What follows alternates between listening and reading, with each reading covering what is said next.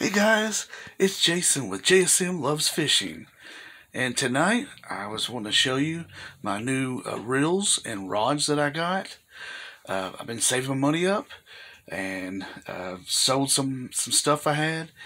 And I had one good uh, catfish rod and I decided I want to get a couple more. Um, but like I said, I finally was able to get my money saved up and sold a few things in a garage sale and and I was going to show you my uh, rods and reels that I got tonight. Uh, hopefully, with this rain we've had, I will be able to maybe go fishing tomorrow morning if it lets up. Uh, if not, the day after. And I will show you a video of me using my new rods. First of all, here is my reels. I got the Okuma Classic CLX 450. And my other one is the Okuma CLX 200. And then I've already put the reels on the rods. Here's my first rod. It is a catfish, catfish sumo chopstick. Uh, it's a two-piece. It's seven foot, yeah, seven foot six, and it's it's supposed to be really sensitive. Um, yeah, it says it can uh, handle ten to fifty pounds. Um, it's a medium heavy power um, action. It's got a sensitive rod tip on it. I'm going to show you the end of it here. And it says it's got a really, really sensitive rod tip to feel the bites when you get it. So that's my first rod. And then I put the uh, Okuma Classic 200 on it. And then here is my other rod I got.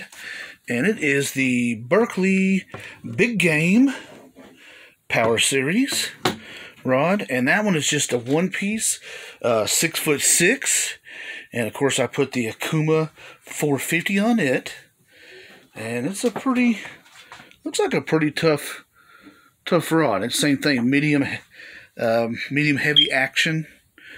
Um, I think it's 10 to 40 pounds, I believe. I'm trying to remember.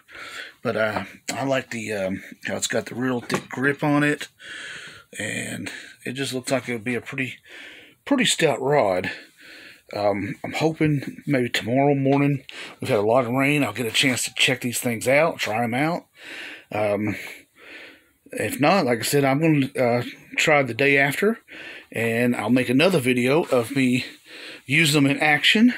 Right now, I'm fixing to uh, start putting line on them and get the uh, get them all set up and ready to go for tomorrow.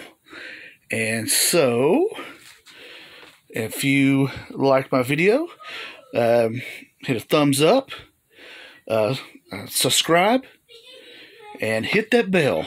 And I'll get you alerts that when our next video will be out. I try to put one out at least once a week.